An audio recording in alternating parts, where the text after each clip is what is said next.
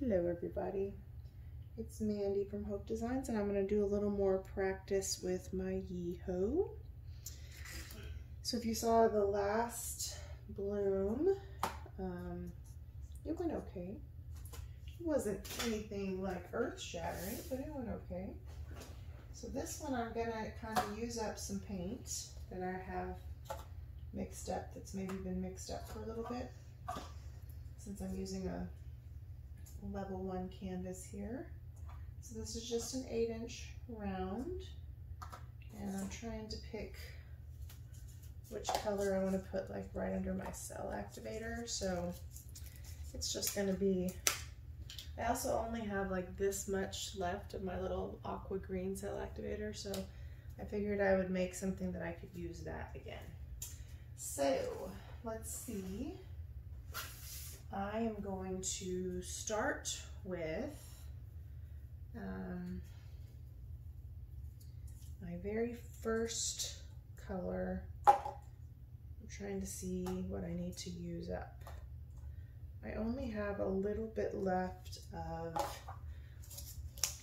Greek Isles and it's been mixed up for a long time. So Greek Isles was in the first semi-opaque primary element set, the one that was called Putting on the Glitz. So this has been mixed up since that came out. Um, super pretty color and I don't want to waste it. So I'm going to put a little bit of uh, Jo Sonja and water in there, um, which is mixed three parts Jo Sonja gloss varnish to one part water. And it's just it's much better than adding straight paint. So I'm just going to use this in the layering and I have about that much sweet tart mixed up too.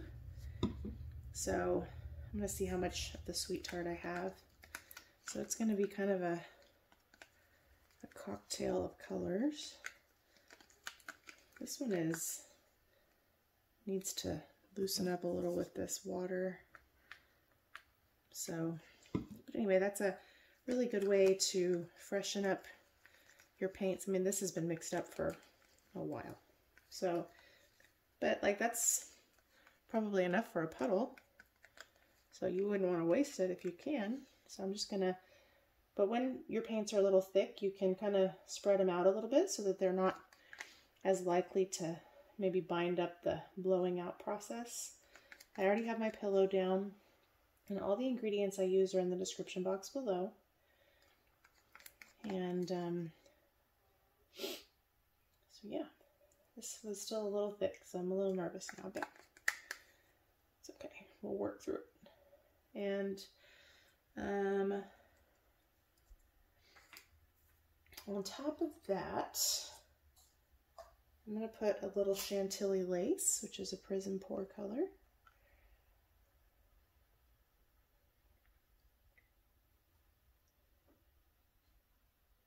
So beautiful. It's like almost white, but it's like a diamond. Oh man, it's just gorgeous. It's a great addition to anything.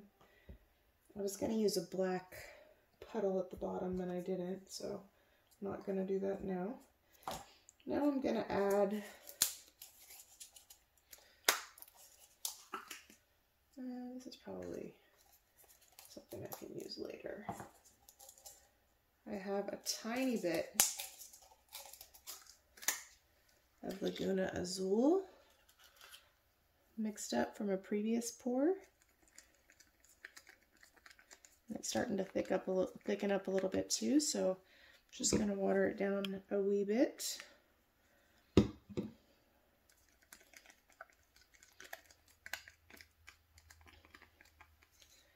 This is kind of one of those everything but the kitchen sink blooms, you know? Sometimes those turn out to be so pretty, actually. when you throw a bunch of stuff in, you're like, we'll see. It's time to mix more paint. Because you have, it's like you have enough to use in like one puddle layer, but not really much beyond that. So yeah. And add that to my stash of cups I'm going to throw away. Now I'm torn between Juicy Pear. Or like sticking with kind of the blue-green theme. If I go with Juicy Pear, I haven't used Juicy Pear in a pour yet. This is from the new set, the Jelly Bean set, and it has like a blue shift. I don't know if you can see that. It's a beautiful color. So we might as well throw a little bit of that bad boy in there. And then I'm probably going to need to chill with all the colors. And put a good layer of that one in there because I really want it to show. And then I'm going to put the lid on it. And I was going to include Nebula Star, but it will probably overpower that guy a little bit. And let's do Falling Star because I haven't used that one a lot. This is also from the new set.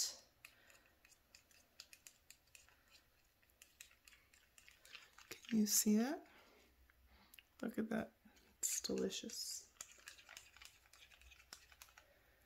Let's do Falling Star.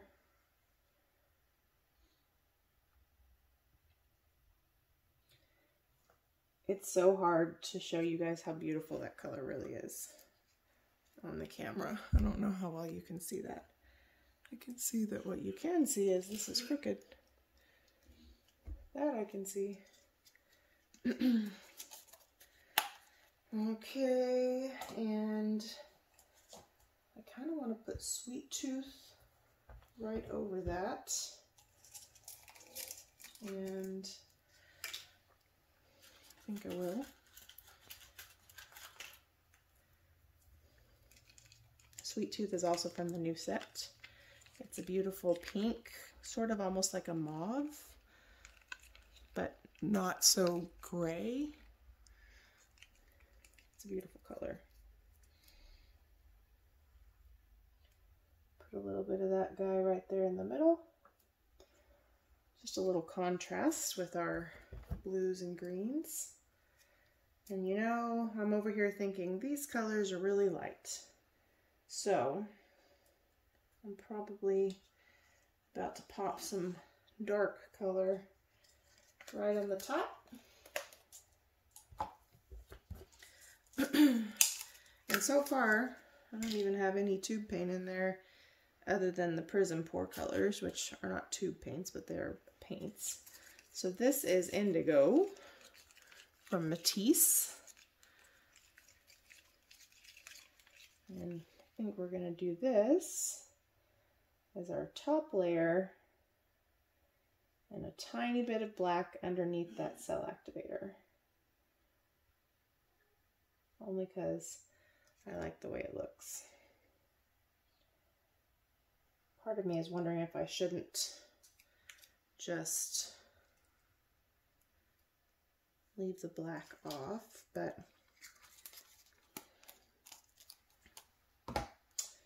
I usually like the way it adds a little bit of pop of color to frame the cell activator a little bit. So, all right, I need to cover up my black because it's getting thick. We have a lot of bubbles to pop. And my bloom is running away, which tells me there's probably something causing this to not be level. So there's a lot of bubbles. I wonder if I just slam this down if they'll pop faster. It's really annoying for y'all, but it's more efficient. Okay. Um, we're going to use a an aqua green cell activator. I did not pop all those bubbles. I don't want to be too annoying. My husband's in there taking a test. Taking a test is enough work without me in here whacking things on the table. Sometimes I look at these color combinations and I'm like, why did I layer all of those colors together? But sometimes those are like the best blooms when you're like, okay, let's try this. Okay. So if you saw my last video, you know that I said that I have noticed the Yiiho blows really hard and so I always use more cell activator than I would use otherwise. and that could just be because my skills still need some work in that area. But it's a good time to practice because this needs to be used up. It's been mixed up for a minute. Okay, I'm going to wipe my hands really quick and then I'm going to get this thing going. And I'm sorry because it's loud. And I'm certainly no expert at doing this, so understand that I am like not giving you a Yiiho tutorial. I'm just practicing with you. But what I have learned is to start up high until you see it move. And then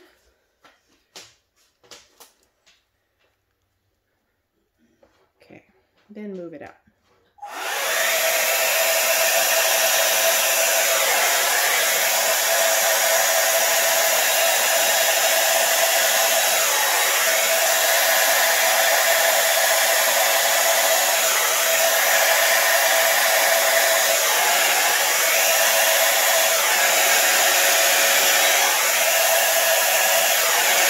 This is what I have a problem with is I always have one section that's totally crazy and not blown out.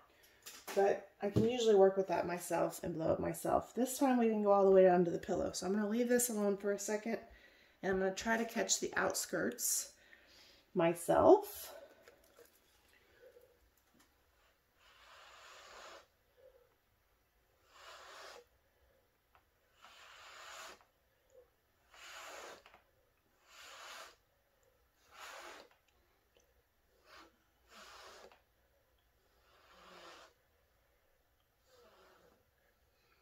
Then I'll catch some other parts with the turkey baster in a minute, but that helped a little. That's kind of crazy looking, but um, let's catch more of it with the turkey baster.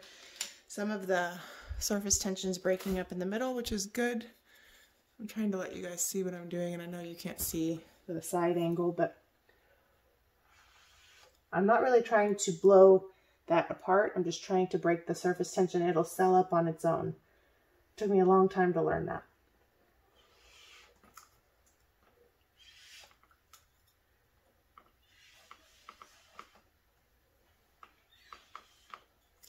And on these outer edges, wherever you have a little bit of cell activator, if you can catch the edge of it, you can get it to go out a little bit.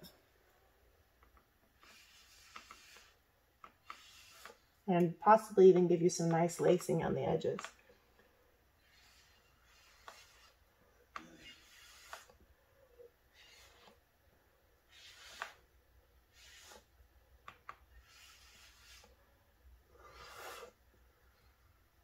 Okay.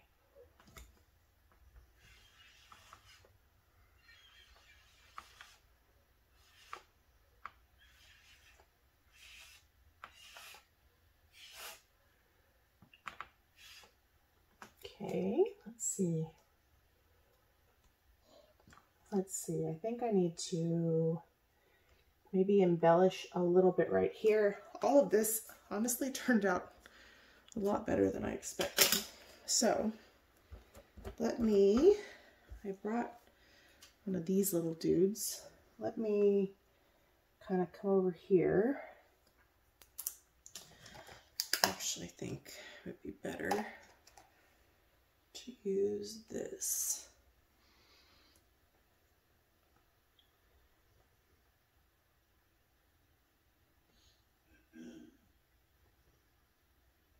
I'm using the wider edge because this is the part I sort of messed up a second ago showing you guys.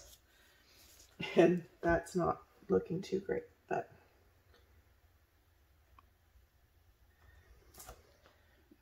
I just want it to not look too crazy.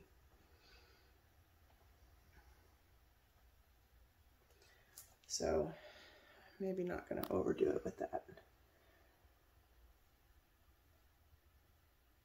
Oh, there's a piece of junk right here in my paint. Okay. I'm gonna maybe not mess with this anymore because hopefully it'll fly off the corner edge and all of my efforts there are not going too well.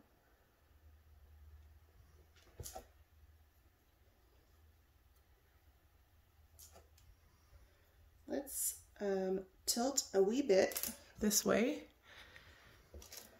See if we can't stretch that weird part. See how it's still not moving a lot here? That's my one contention with this thing is it blows so far down that sometimes you can't like get it to come back up. And that makes it kind of difficult when you're trying to work on your composition. So I don't like this. I hope it blows off, but some of these other parts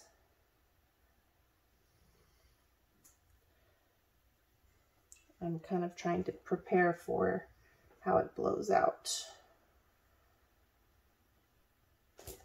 Let's just spin it, shall we? See what happens. The colors blended a lot better together than I honestly thought they would. And I have a lot more coverage in the middle this time. So I think practicing on these level one canvases is going to be smart for me to try to get this down. I'm very impatient with not being great at things right away. Um, I will go back to what I know and what I can get a win from immediately and where I can get some like immediately happy results or whatever. Um, if I get super frustrated, I will do that. And that's not how you challenge yourself and grow. So um, I do practice a lot of things, but sometimes I have to go back to having a win, even if it's a small win, if I've had nothing but garbage. This is honestly turning out super beautiful. And that indigo is going on top of that sweet tooth color and creating a beautiful purple. And now, despite how crazy it blew out, we're actually getting a bloom with almost perfect coverage and almost almost ideal cell distribution. So, what a pleasant surprise. Huh. How interesting pardon me while I marvel for a second. Like, look at the colors of that. Has and that juicy pear color is so beautiful. And sometimes it's hard to know how you're gonna like using a green color if you're not a total green person. I'm a teal and an aqua person. And so this color combination that we used, where we used the juicy pear and the falling star, the two colors as they've sort of emerged together has created a beautiful teal color, but this little pop of that juicy pear color is really cool. And the aqua green cell activator is a perfect complement to these colors. So what a win, huh? Super, super beautiful. This is again why I love Colourarte so much. Uh, before I totally forget to tell you again, Save 20% on anything on the Colourarte website. That also includes resin art if you're into resin, which I am. Um, Prizm Pour, Colourarte, um, all of the pouring medium tools, all that stuff. 20% off using Mandy1120. The code is also in the description box below. If you're not part of our Facebook group, which is um, Fluid Art Friends, we would love for you to join us. The link is also below. I love it when you guys share your art in there. And um, it can be really any kind of art, fluid art, resin art, alcohol inks, whatever. I gotta stop spinning this for now. Just need to make sure there's enough paint off, but this is probably one of the best blowouts I've ever had with the Yiiho so far to date. So I'm pretty happy. Um, let me clean up my hands and I'll bring you down for a close-up. Need to pop a couple bubbles, but let you see it without the ring light. Um, thanks again. Give me just a minute. I was showing you guys my close-up and I never actually hit record. What a doofus. I'm really pleasantly surprised by how this turned out. I love the way the indigo and the black created some contrast, but they're also um, spread out pretty evenly. I love this corner right here. And I was really on the fence about adding the sweet tooth color, which was that pink color, but I think it, it was a perfect balance. And um, I really love the aqua green cell activator. I love the way the black plays and interacts with it. And um, this is gonna look great under some resin. This one part up here is where I had some challenges blowing it out myself and I blew too hard and that's why we see that white. But it, it's okay, it adds a little interest to the colors. Um, yeah, I'm really pleasantly surprised by how this blew out. I feel like me and the Yiiho are bonding a little bit better. I'm gonna get there. Anyway, thank you guys so much for watching. Thank you so much for all of you who support this channel. If you are uh, not a subscriber, we would love for you to subscribe and hit that notification bell. Leave a comment, let me know what you think. Don't forget about the Colourarte discount code below, Mandy1120. Uh, there's also a KS Resin discount code, some links to my Amazon shop, and I am working on the actual storefront, so be patient with me. Appreciate you guys. Have a wonderful day. Bye.